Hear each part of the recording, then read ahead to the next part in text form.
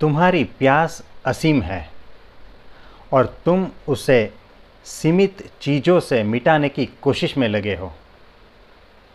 और ये कभी शक्य नहीं होगा। तुम्हारी भूख अनंत है और तुम उसे वो चीज़ दे रहे हो जिसका अंत हो। तो इससे तुम्हारी भूख कभी भी मिटेगी नहीं। तुम्हारे भीतर का वैक्यूम वो अनंत है। और उसे भरने के लिए तुम्हें उस अनंत की ज़रूरत पड़ेगी। वो परब्रह्म तत्व जो है, वो अनंत है। जो तुम्हारे भीतर की अनंत प्यास को, अनंत भूख को और अनंत वैक्यूम को मिटा सकता है। तुम्हारी प्यास सही है, लेकिन उसे मिटाने की जो तुम्हारी दिशा है, वो गलत है। और इसीलिए तुम तड़पते रहते हो।